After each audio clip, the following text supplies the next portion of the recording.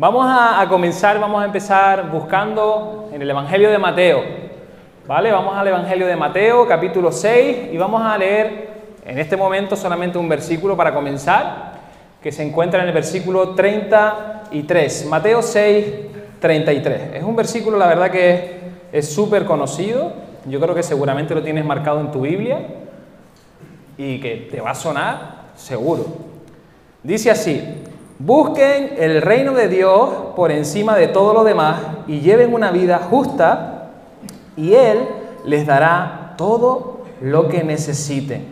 Y miren, nos encontramos en el Evangelio de Mateo. Y para comenzar me gustaría hacerles una pregunta.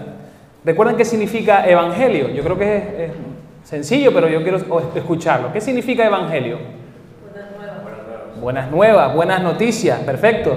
Este Evangelio de Mateo va dirigido a una comunidad de un trasfondo que era judío y que el Evangelio de Mateo sea el primero que encontramos cuando abrimos el Nuevo Testamento no es casualidad, está ahí por un motivo. Está en ese lugar porque de alguna manera sirve de bisagra para conectar todo el Antiguo Testamento con el Nuevo Testamento y lo hace a través de 70 referencias directas que apuntan y dan luz y nos dan claridad acerca de la persona de Jesús.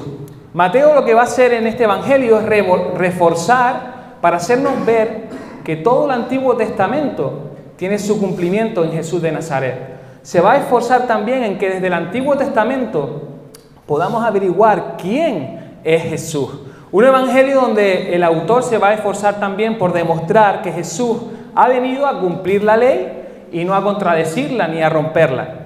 Este evangelio es el evangelio que es más elaborado, es el Evangelio que es más sistemático, donde están agrupados varios temas, y también es el más pedagógico del Nuevo Testamento, donde podemos ver a lo largo de todo el Evangelio cinco grandes discursos donde vamos a ver a Jesús sentarse y enseñar. Y a modo de, recordatorio, estos cinco sermones son el sermón de la misión, el sermón de las parábolas, ¿les suenan las parábolas? El sermón de la comunidad, del discipulado, el sermón del fin de los tiempos y también, que es este sermón que vamos a estar tratando hoy, el sermón del monte. ¿Les suena el sermón del monte? Podemos decir que es el discurso más famoso de Jesús. Un discurso que llega en un momento agitado. Cuando Jesús da este discurso, llega en un momento agitado, agitado donde existían roces entre los diferentes estratos de la sociedad y donde existían también fricciones, había ahí un conflicto con el imperio romano. Israel estaba de alguna manera esperando a ese líder político, a ese Mesías, a ese Salvador político que viniera a quitar del medio el imperio romano y que devolviera esa gloria perdida a Israel. Pero la propuesta de Jesús, sin ir más lejos, iba a descolocar totalmente a la gente.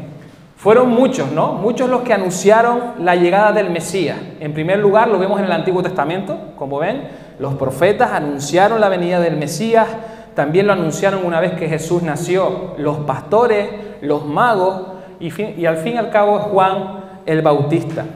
Juan el Bautista es el primero que vas a encontrar en el Nuevo Testamento predicando sobre la llegada del reino de Dios. Mateo 3.2 dice el mensaje que Juan eh, pregonaba, ¿no? Con sus vestimentas típicas de pelo de camello y su dieta equilibrada de miel y, langosta, ¿verdad? Arrepiéntanse de sus pecados y vuelvan a Dios porque el reino del cielo está cerca.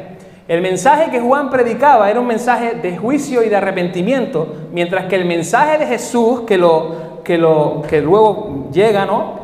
Habla sobre el reino, habla también sobre juicio, sobre arrepentimiento, pero también habla sobre las buenas nuevas de salvación, sobre la buena noticia. Por lo que podemos decir que Jesús predicó el Evangelio del reino. Él fue enviado a predicar la buena noticia a todos.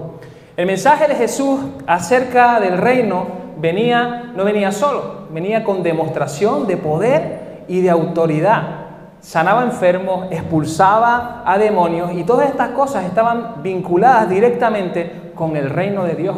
Jesús estaba demostrando el poder y la presencia del reino entre las personas en aquel momento. Y no solamente lo anunciaron otros, ¿verdad? No solamente otros anunciaron a ese Mesías que estaba por llegar, sino que Jesús también se anunció a él mismo por primera vez como el Mesías en su pueblo natal, en Nazaret. Vamos a ver esto en Lucas 4, del 16 al 21. Dice así, cuando llegó a Nazaret, la aldea donde creció, fue como de costumbre a la sinagoga el día de descanso y se puso de pie para leer las escrituras. Le dieron el rollo del profeta Isaías. Jesús lo desenrolló y encontró el lugar donde está escrito lo siguiente. El Espíritu del Señor está sobre mí, porque me ha ungido para llevar la buena noticia a los pobres. Me ha enviado a proclamar que los cautivos serán liberados, que los ciegos verán, que los oprimidos serán puestos en libertad y que ha llegado el tiempo del favor del Señor. Lo enrolló de nuevo, se lo entregó al ayudante y se sentó. Todas las miradas en la sinagoga se fijaron en él. Después Jesús comenzó a hablarle. La escritura que acaban de oír se ha cumplido este mismo día. El Mesías de las profecías, ese Mesías que tanto habían esperado, estaba inaugurando su reino. Ya no tenían que seguir esperando más por él. Pero Jesús en la lectura de este rollo de Isaías se dejó una línea en el texto, se la dejó atrás. Una línea tan importante que cada vez que en la sinagoga se leía este pasaje era la línea que todos estaban esperando escuchar, todos estaban anhelando escuchar, era su parte preferida de este texto. Vamos a ir a Isaías 61, del 1 al 2, para ver qué línea, qué frase fue la que Jesús omitió intencionalmente. El Espíritu del Señor soberano está sobre mí, porque el Señor me ha ungido para llevar buenas noticias a los pobres. Me ha enviado para consolar a los de corazón quebrantado y a proclamar que los cautivos serán liberados y que los prisioneros serán puestos en libertad. Él me ha enviado para anunciar a los que se lamentan que ha llegado el tiempo del favor del Señor, junto con el día de la ira de Dios contra sus enemigos. Jesús había omitido la parte de la venganza de Dios, omitió esa línea de junto con el día de la ira de Dios contra sus enemigos. Y la venganza contra los enemigos era lo que los judíos más anhelaban. Estaban hartos de los romanos, estaban impuestos, estaban eh, hartos y agobiados de sus impuestos, estaban hartos de sus normas y querían un libertador, necesitaban un libertador, querían ver a sus enemigos destruidos de una vez por todas, ¿no? Normal que cuando Jesús terminó de, leer este, este pasaje, todos los que estaban en esa sinagoga quisieran tirarlo por el monte de precipicio. No solamente se estaba anunciando él mismo como el Mesías, sino que se estaba anunciando como un Mesías que no cumplía para nada con las expectativas de ellos. Pero Jesús tenía muy claro para qué había sido ungido, para anunciar el Evangelio, las buenas noticias a los pobres, para sanar a los afligidos y para traer libertad. Jesús no era un líder político, no era el líder político que ellos estaban esperando. No era un líder político, pero era el libertador que ellos necesitaban. Y el reino de Dios, el reino de los cielos, es uno de los temas más recurrentes de Jesús. Algunos dicen que eh, este tema era la obsesión de Jesús. Pero a pesar de que era su obsesión, de que estaba todo el rato hablando de lo mismo, eh, Jesús solamente lo, usa en las parábolas, nunca hace una definición exacta de lo que es el reino de, los cielos, el reino de Dios.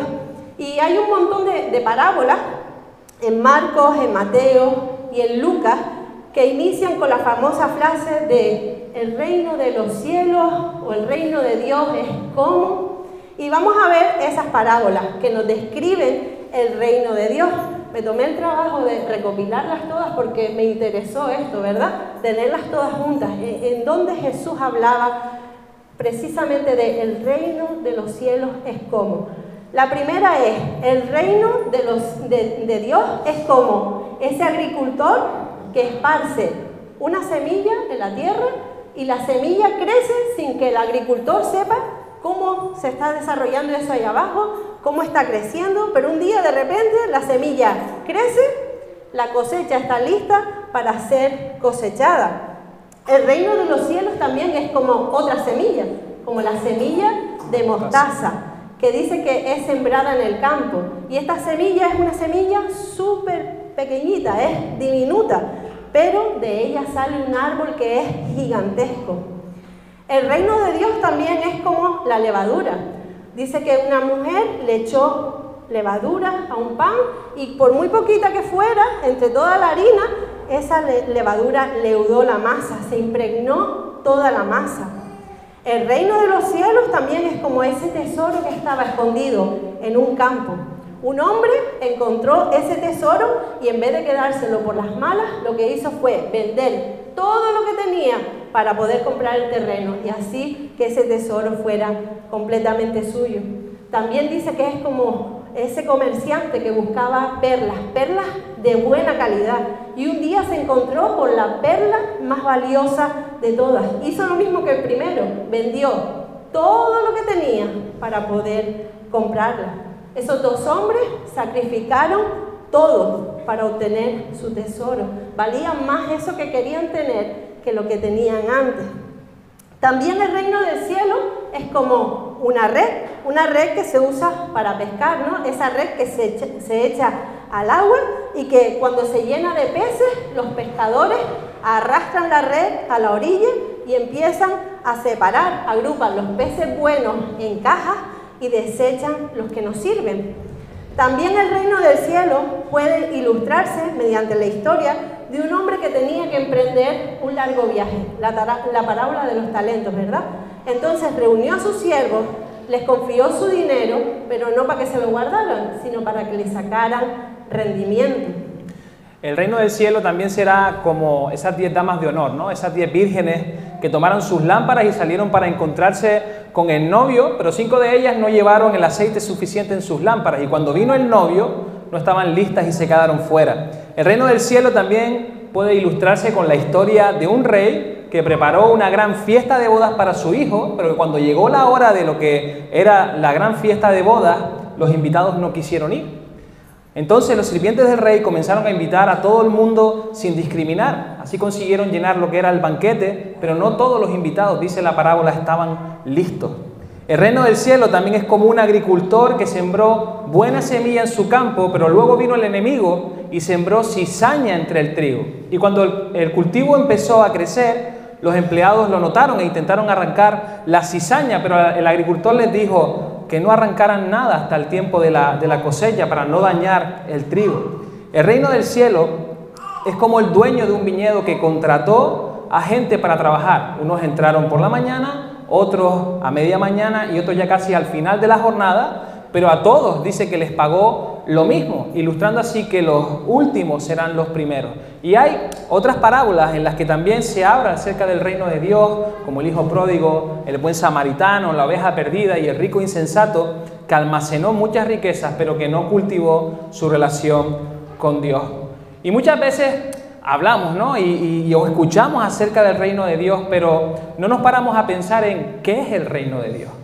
A veces tenemos esa pregunta, ¿qué es el reino de Dios? ¿Cómo, ¿Cómo se define el reino de Dios? Si alguien me pregunta acerca de esto, de qué es el reino de Dios, ¿cómo lo puedo explicar en palabras sencillas? ¿no? Y en realidad es un concepto que a veces es difícil, que a veces no sabemos definir muy bien, pero realmente no hace falta que te frustres, no te frustres con esto, porque los fariseos no se enteraban, no se enteraban de qué era esto del reino de Dios. Mira lo que dice Lucas 17, 20 y 21. Un día los fariseos le preguntaron a Jesús, ¿cuándo vendrá el reino de Dios? Jesús contestó, no pueden descubrir el reino de Dios por medio de señales visibles. Nunca podrán decir, aquí está o está por allí, porque el reino de Dios ya está entre ustedes.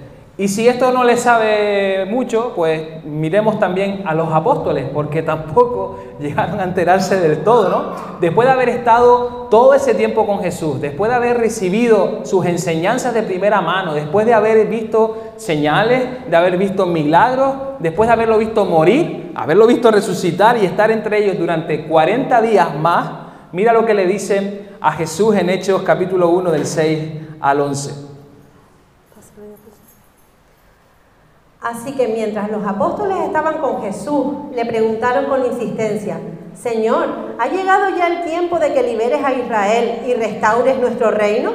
Él les contestó, solo el Padre tiene la autoridad para fijar esas fechas y tiempos, y a ustedes no les corresponde saberlo, pero recibirán poder cuando el Espíritu Santo descienda sobre ustedes y serán mis testigos y le hablarán a la gente acerca de mí en todas partes, en Jerusalén, por toda Judea, en Samaria y hasta los lugares más lejanos de la tierra. Después de decir esto, Jesús fue levantado en una nube mientras ellos observaban, hasta que ya no pudieron verlo. Mientras se esforzaban por verlo ascender al cielo, dos hombres vestidos con túnicas blancas de repente se pusieron en medio de ellos. Hombres de Galilea les dijeron, ¿por qué están ahí parados mirando al cielo? Jesús fue tomado de entre ustedes y llevado al cielo, pero un día volverá del cielo de la misma manera que lo vieron irse. Y vemos que los propios apóstoles, hasta última hora, estaba ya Jesús ya a punto de, partir al cielo, estaban preguntándole acerca del reino. Le seguían preguntando que cuándo vendría el reino de Dios. Y es verdad que aunque Dios gobierna sobre todo su universo, por otro lado, su reinado sobre la tierra todavía no está completamente establecido. Y vemos que ni los apóstoles, que estaban obviamente influenciados por su cultura judía y por sus ideas preconcebidas acerca del Mesías, ni ellos se enteraban de que el reino de Dios ya había sido inaugurado no completamente establecido, porque esto solamente va a pasar cuando Cristo vuelva y vuelva a reinar, pero el reino de Dios ya había venido. No era solamente algo referente al futuro, sino que ya está aquí, ya estaba allí en ese momento. Pero el reino de Dios no es algo físico, no es algo que podamos tocar. Y seguramente cuando pensamos en el reino de Dios pensamos en algo parecido a esto, ¿verdad? un castillo que surge de entre las nubes, así dorado, con las, luces por detrás. Nos imaginamos esto, ¿no? Pensamos en el reino de, los cielos y pensamos en eso, pensamos en el reino de Dios así, pero el reino de Dios no tiene nada que ver con esto. Juan Calvino nos prestó una frase esta mañana y miren, fíjense, la, firmó y todo, ¿eh? Juan Calvino. Dijo que, que la tarea de la iglesia es hacer visible el reino invisible. Lo repito de nuevo es una frase que me gusta mucho. Juan Calvino dijo que la tarea de la iglesia es hacer visible el reino invisible. ¿Y, esto cómo se hace? O sea, si Jesús es de verdad nuestro rey, nuestra manera de vivir va a ser un testimonio donde quiera que estemos, en nuestros trabajos, con nuestras familias, en donde estudiamos, con nuestros amigos, con nuestros vecinos. Si Él es rey de todas las áreas de nuestra vida, nuestra manera de vivir estará influenciada por su reinado y a su vez nosotros seremos influencia también allá donde vayamos. Y antes de continuar, me gustaría ir a los versículos anteriores, a este versículo 33. Ya al principio pues, vimos un poco de lo que es el contexto general, pero vamos a leer ahora el contexto más inmediato a este versículo, ¿vale? No lo cojamos este versículo de sopetón, sino tiene un contexto anterior en Mateo 6, de 24 al 32. Dice, nadie puede servir a dos amos, pues odiará a uno y amará al otro, será leal a uno y despreciará al otro. No se puede servir a Dios y estar esclavizado al dinero. Por eso les digo que no se preocupen por la vida diaria, si tendrán suficiente alimento y bebida o suficiente ropa para vestirse. ¿Acaso no es la vida más que la comida y el cuerpo más que la ropa? Miren los pájaros, no plantan ni cosechan, ni guardan comida en graneros, porque el Padre Celestial los alimenta. ¿Y no son ustedes para Él mucho más valiosos que ellos? ¿Acaso con todas sus preocupaciones pueden añadir un solo momento a su vida? ¿Y por qué preocuparse por la ropa? Miren cómo crecen los lirios del campo. No trabajan ni cosechan ni cosen su ropa. Sin embargo, ni Salomón con toda su gloria se vistió tan hermoso como ellos. Si Dios cuida de manera tan maravillosa a las flores silvestres que hoy están y mañana se echan al fuego, tengan por seguro que cuidará de ustedes. ¿Por qué tienen tan poca fe? Así que no se preocupen por todo esto diciendo, ¿qué comeremos? ¿Qué beberemos? ¿Qué ropa nos pondremos? Esas cosas dominan el pensamiento de los incrédulos, pero su Padre Celestial ya conoce todas sus necesidades.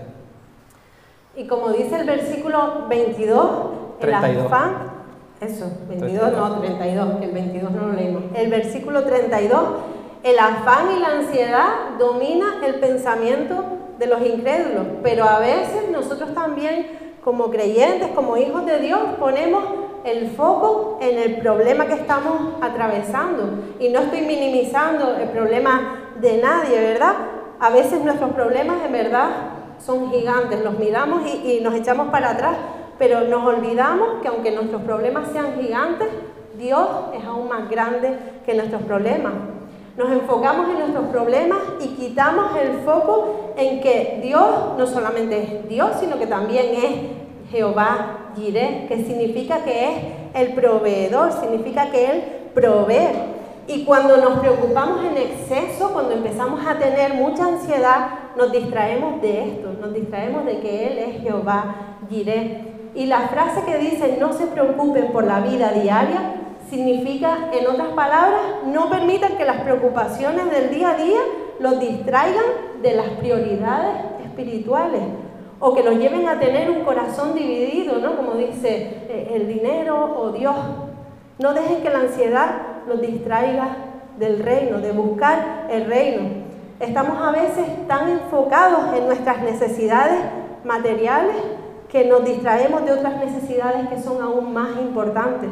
Por esto Jesús quiere hacernos ver que muchas veces le prestamos mucha atención a la ropa que me voy a poner, a la comida que voy a comer, a nuestra propia imagen, ¿verdad? Que, que me, que cómo me voy a vestir para proyectar una imagen hacia los demás. Y nos enfocamos tanto en estas cosas que al final son mínimas que le restamos importancia a lo que de verdad importa, que es su reino. Y uniendo esta enseñanza con la enseñanza del domingo pasado, a veces estamos tan enfocados en construir nuestra propia torre de Babel, intentando llegar a lo más alto, que se nos olvida que ese no es nuestro objetivo, que sí que somos llamados a construir y somos llamados a expandir, pero no nuestro propio reino, sino el, reino de Dios. Y el versículo 33 es un llamado a ordenar nuestras prioridades, ¿verdad? Primero el reino de Dios y su justicia y después todo lo demás.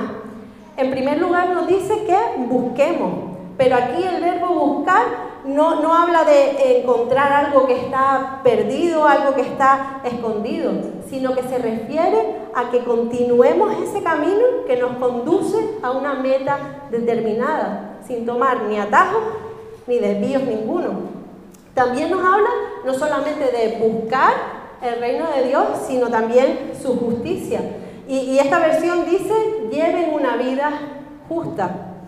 Porque cuando Dios es lo primero, cuando Dios es nuestro rey, entonces nosotros nos sometemos a Él y cumplimos con su voluntad. Y todo esto nos va a llevar de manera automática a un estilo de vida caracterizado por la justicia. Y en este mismo versículo en el versículo 33 encontramos tanto un mandato como una promesa. Y vamos a ver primero la promesa, que dice, Él les dará todo lo que necesiten. Él promete cuidar de nosotros, mejor aún de lo que ya cuida de su creación. Pero aunque promete darnos lo que necesitamos, no nos promete dar, darnos todos nuestros caprichos, cumplir todos nuestros sueños y darnos todo aquello que nuestro corazón anhela, ¿verdad?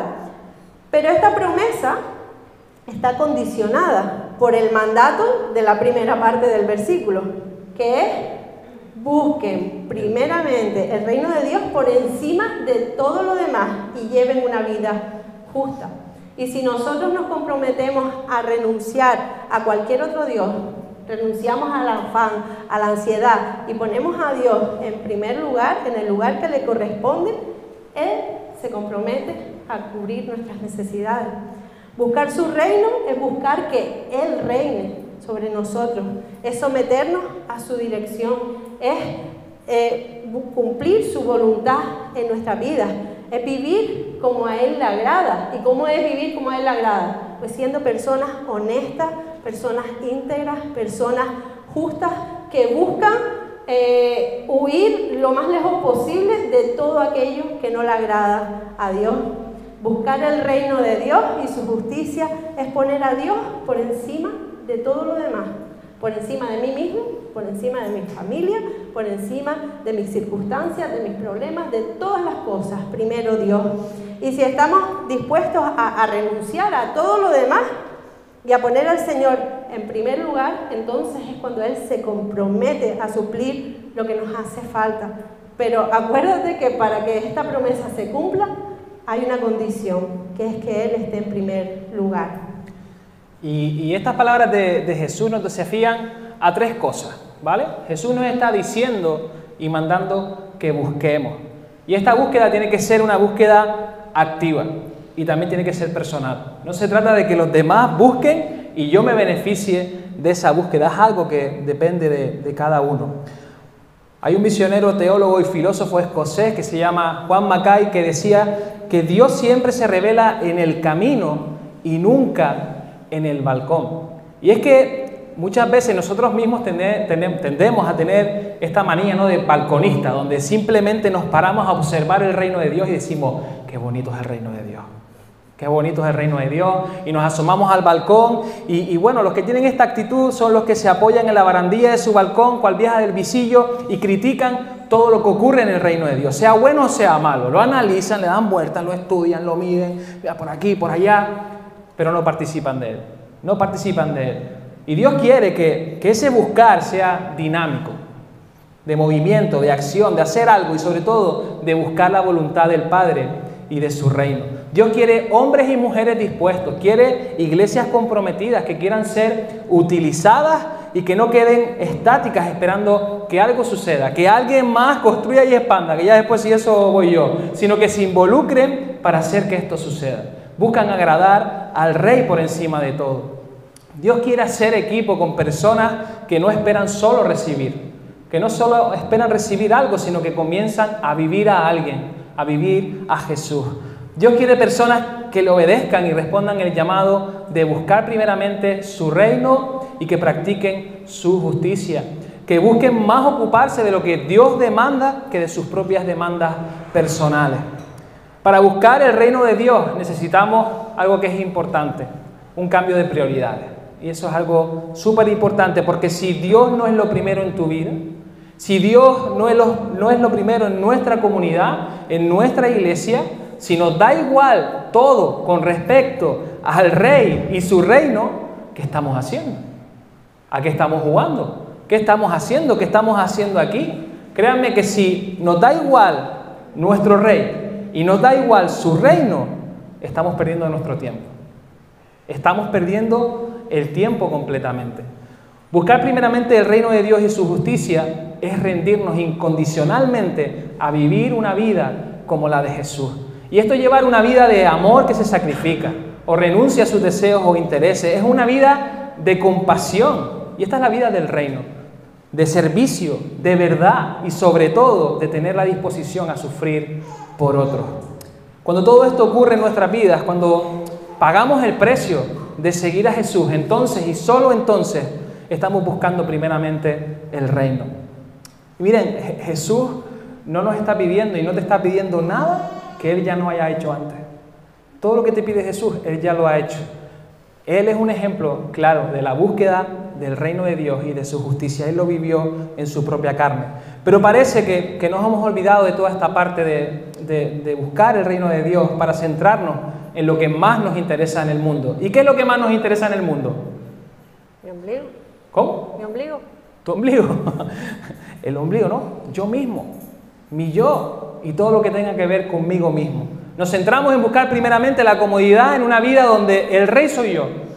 El rey soy yo, donde todo lo que importa es lo que pasa conmigo y con mi reino, con mi Babel particular y con las cosas que me importan y todo lo demás pasa a un segundo plano o un tercero o un cuarto plano, si eso. A veces en, esa búsqueda de su reino nos desenfocamos y empezamos a buscar mi reino, nuestro reino. Y oramos, ¿no? Señor, que venga nuestro reino, que se haga mi voluntad, mi reino, no el tuyo, sino el mío. Si tu prioridad no es Dios y su reino, ¿A qué rey estás sirviendo? ¿Se acuerdan los versículos anteriores que decía que no se podía servir a dos señores? ¿A qué rey está sirviendo? Por eso es, es un reto, es un desafío, porque nuestra tendencia natural es a tomar la corona que a Jesús le pertenece. Esa es nuestra tendencia. Le quitamos la corona, le quitamos el cetro y hasta el trono para sentarnos en su lugar y tomar las riendas de nuestro propio reino. Y el tercer desafío es confiar en sus promesas. Y aquí tenemos la promesa que, si lo ponemos a Él primero, todo lo demás que necesitamos vendrá como un complemento.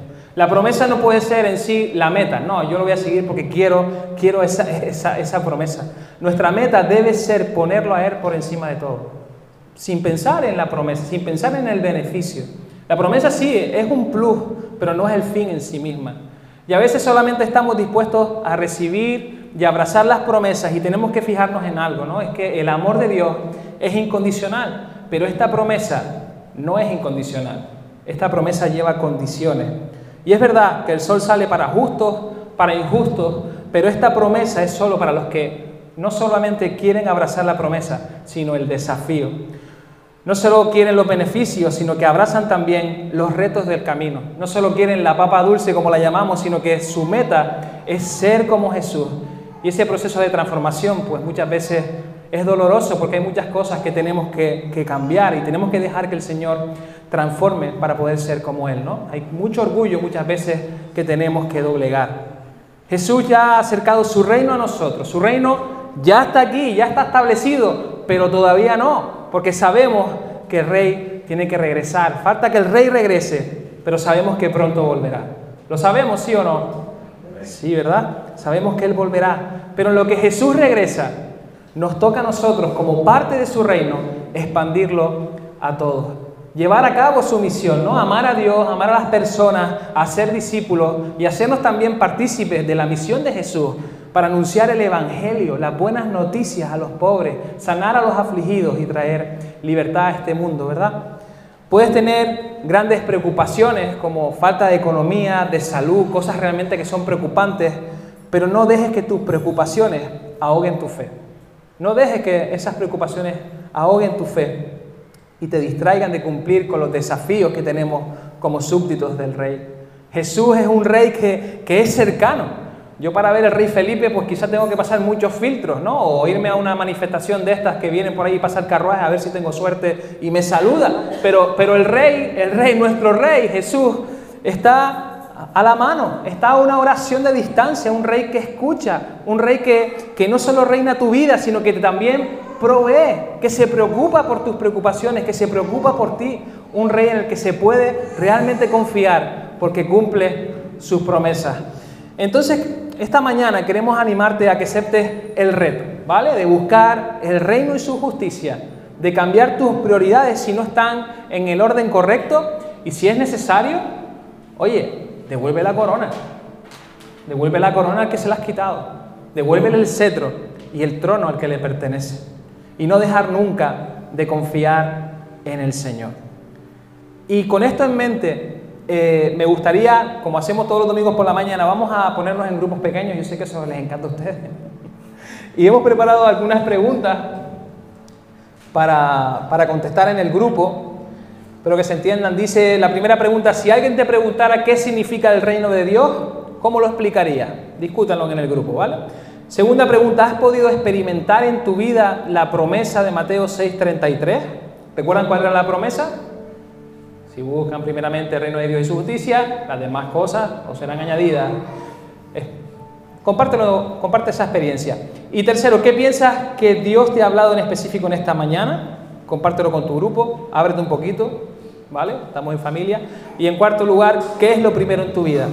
Si tu respuesta es Dios, que esa es la más rápida, es Dios. ¿En qué forma su reinado influye en ti y a su vez tú influyes en los demás?